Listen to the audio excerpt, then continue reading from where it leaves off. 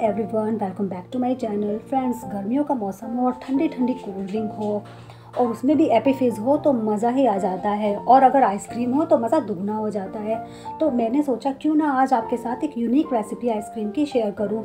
Unique इसलिए friend क्योंकि इसमें ना तो हम किसी एसेंस का इस्तेमाल करेंगे, ना फ़ूड कलर का और ना ही शुगर का इस्तेमाल करेंगे और चुटकियों में ये आइसक्रीम हमारी बनकर तैयार हो जाएगी। तो यहाँ हमने एक बॉटल ले ली है और अब इसको हम कट करेंगे। तो सबसे पहले मैं नाइफ़ को गैस पर गर्म कर लूँगी।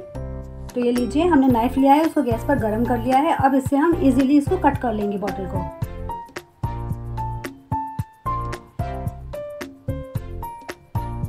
तो है ना फ्रेंड्स कितना ज़्यादा आसान तरीका मोल्ड को घर में ही तैयार करने का। तो इस तरीके से हमने इसे कट कर लिया है। देखिए कितनी आसानी से ये कट हो भी गया है। और अब इसके जो एजेस हैं, इनको भी हम कट करेंगे। तो मैं बताती हूँ आपको किस तरीके से, ताकि ये एजेस इसके बिल्कुल स्मूथ हो जाएँ।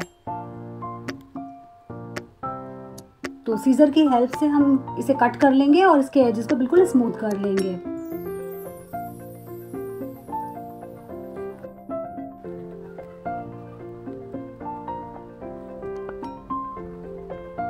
तो ये देखिए, हमारा मोल्ड तो बनकर बिल्कुल रेडी हो चुका है। वो कहते हैं ना, फ्रेंड्स, हल्दी लगे ना फिटकरी, रंग चोखा का चोखा। तो बस यही कहावत को आज हमने सच कर दिखाया है। तो यहाँ मैंने बॉटल ले ली है दूसरी एपी फेस की और इसको खोल देंगे। और इसके अंदर पोर कर देंगे इसको।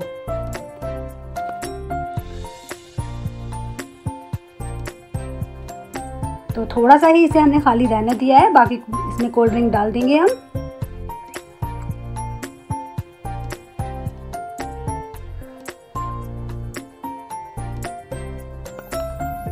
तो अब यहाँ पर हमने ये फॉइल ली है। इसको फोल्ड कर देंगे ताकि ये थिक हो जाए और फोल्ड करने के बाद में इसके ऊपर लगा देंगे।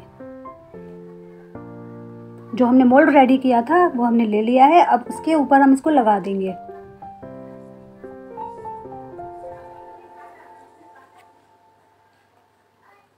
और इस तरीके से ये रबर बैंड हमने ले लिया है। इसको भी लगा देंगे ताकि ये निकले नहीं फॉइल तो ये देखिए अब नाइफ की हेल्प से छोटा सा इसमें कट लगाएँगे और आइसक्रीम स्टिक लेंगे और उसको डाल देंगे इसके अंदर। तो ये स्टिक तो हमने डाल दी है इसके अंदर। तो आइसक्रीम हमारी जमने के लिए रेडी हो चुकी है। और अगर आप इस तरीके से मोल्ड नहीं बनाना चाहते हैं, आपके पास घर में छोटे छोटे ग्लास तो होते ही हैं फ्रेंड्स सबके पास। तो इस तरह से इस ग्लास के अंदर भी आप इस आइसक्रीम को बना सकते हैं। तो मैंने छोटा सा ग्लास लिया है यहाँ पर। और ये जो कोल्ड ड्रिंक थी हमारी, इसके अंदर पोर कर देंगे हम ग्लास में।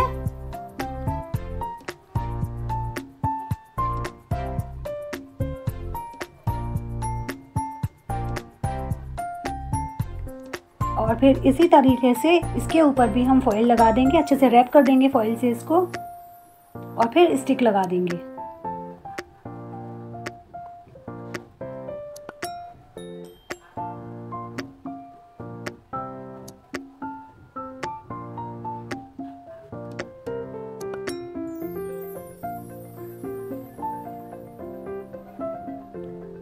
देखिए, अब इसमें स्टिक लगा देंगे हम।